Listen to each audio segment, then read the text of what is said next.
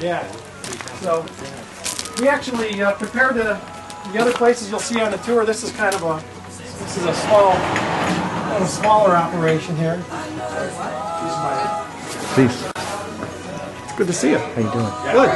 Hi there. idea. Use any gallon drum if somebody wants. So this is a two by six, uh, two foot by six foot uh, evaporator, oil fired. So there's a little oil burner in here, kind of similar to what you'd have in a furnace.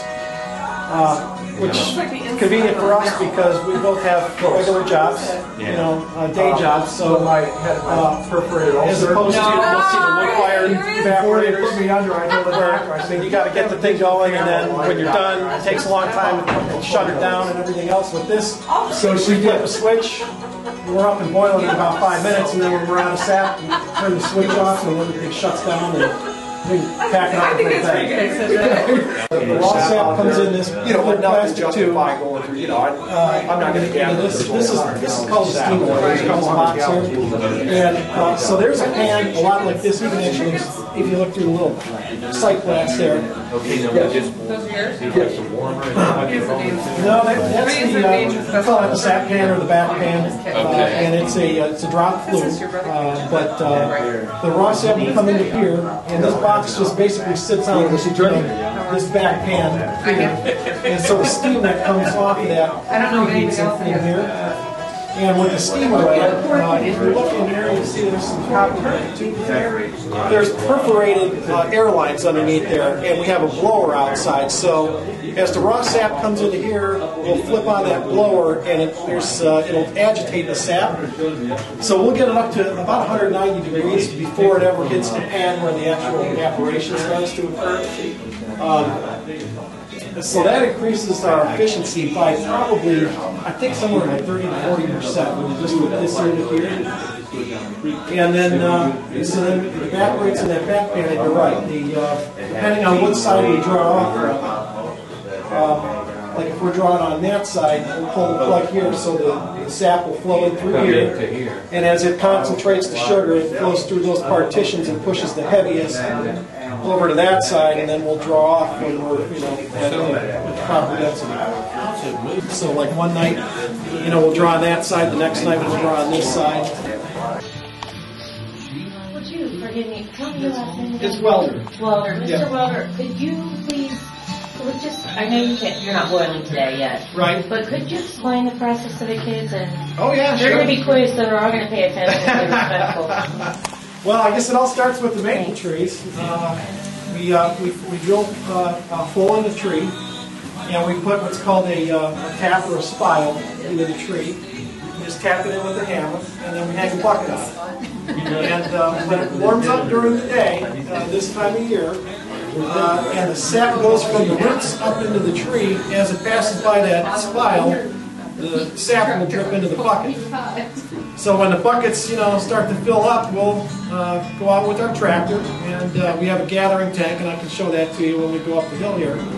But we'll go through the woods, and we'll go to each tree, and we'll empty the buckets into five-gallon pails, and then we walk those over to the tractor, and we dump those in the into the gathering tank, and then uh, we'll uh, fill up our holding tanks, which I'll show you up the hill over here. And we got a big 600-gallon tank up there. And sometimes when the trees are running really good, that tank will be full right to the very top. And so the sap, when it comes out of the tree, looks like water. It's clear. And um, we'll feed it into the evaporator. And what the evaporator does is there's a there's a there's a fire underneath here, so it heats it up and it starts to boil the sap. And as the sap boils, um, steam comes off of it and it concentrates the sugar that's in the sap. And so when the sap uh, gets to about 9 degrees above the boiling point of water, does anybody know what the boiling point of water is? What temperature? Ooh, you should know this. know that, yeah. You shouldn't. Is it more or less than 200 degrees? You shouldn't. What's the boiling temperature of water? Oh, guys. You're making us look bad. It's two, 212. It's the boiling point of water. So when we make syrup, uh, we need it to be 219 degrees. And uh, when we get it up to 219 degrees, we can open up the valve for the evaporator, And uh, we, we, we pull the syrup off into a bucket like this.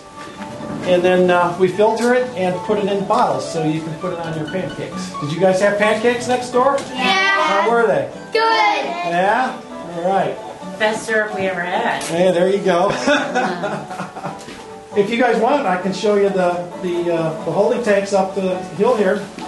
You guys went right by them. I'll show you the tractors too. Okay. You go up there.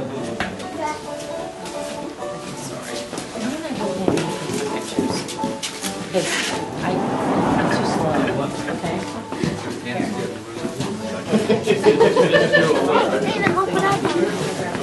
Where are they?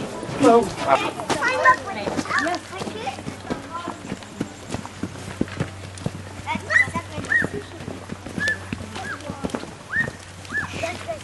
Did you guys take a look in these buckets? Like a professional. Yeah, thank you. See, so here's the hole. All right, we drill a hole, and this is the this is the tap or the spile. Okay, it's frozen right now, but it's gonna warm up here pretty soon when it gets. You guys know uh, when it gets above 32 degrees, these will start to just drip uh, sap out of the tree and into the buckets. There's a little bit in there from yesterday, but not not enough. So I want that to fill up. And we put the lids on here so that when it rains, we don't get any water in the buckets, just the sap.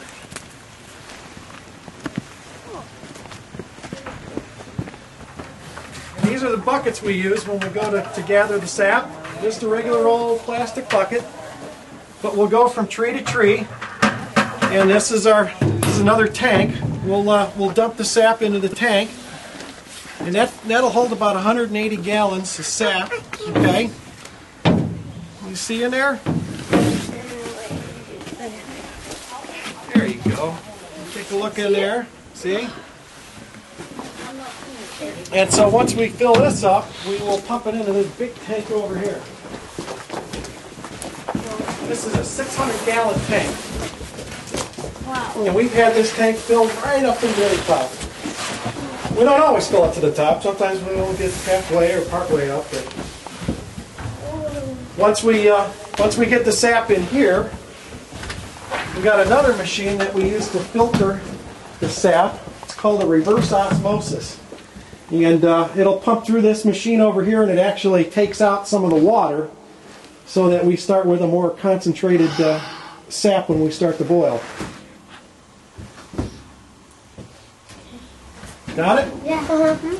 That's, that's pretty much it. And then from there it goes right into the evaporator and we boil it down. So out of 600 gallons of sap, how much syrup do you get out of that? Well, it uh, we usually go about 40 or 50 gallons of sap to one gallon of syrup. So for a uh, uh, 600 gallon day, we'll make uh, 12 gallons of maple syrup. My math is right. That's a 12 to 15 gallons, somewhere in there.